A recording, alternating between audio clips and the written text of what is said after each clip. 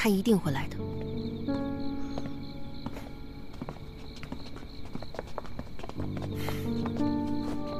少夫人，这次多亏了少夫人，佳妹已经把少夫人的精妙计划告诉我了。放心，此次聂真必出。那就多谢侯师长了。我和四娘说的也清楚，青夏想要的只有钱。等侯师长您执掌洪州的那一天，我们沈家可就全仰仗您侯师长哦不，侯大帅了。不愧是留洋归来的大才女，心思稳，手段狠。原来如此，只是虚惊一场。虚惊，小子，你是没看清现在的形势吗？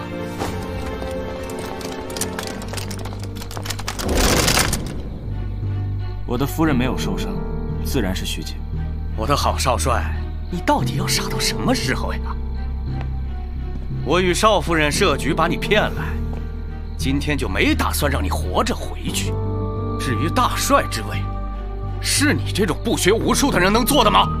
你也凭他护子，但是我不想，洪州就绝对不能葬送在你的手里。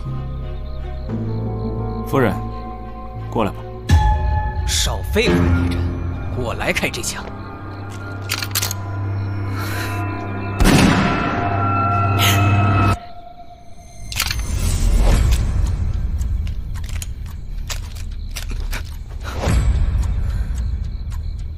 空包的，好玩吗？我不喜欢枪，自然也不喜欢火药和子弹。什么？开枪！立刻开枪！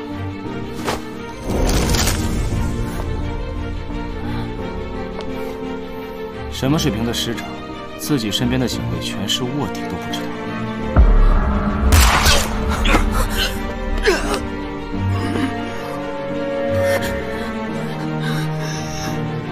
你你……抱歉了，侯师长，这颗警告用的子弹，你必须挨。没工夫跟你藏什么拙。原本你不杀我，这些人永远不会对你开枪。更何况，你牵扯到了你牵扯不起的人。另外，我对大帅之位真的不感兴趣。夫人，演够了吗？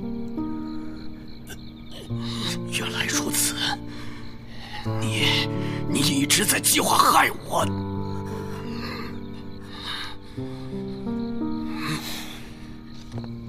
至于你，你永远都不会是我的对手。夫人，有事我们回家说。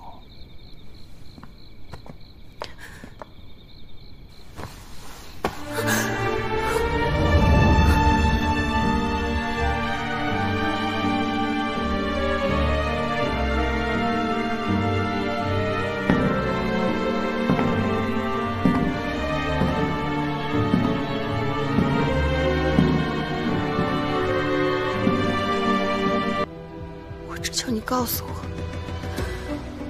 到底要怎么样才能救聂真？把该是我的全还给我，不该是你的全部吐出来。这样的话，我可以考虑一下。不该是我的。各位记者朋友们，今夜将大家召集前来聂府，只为了宣布一件事，有关于我的身世。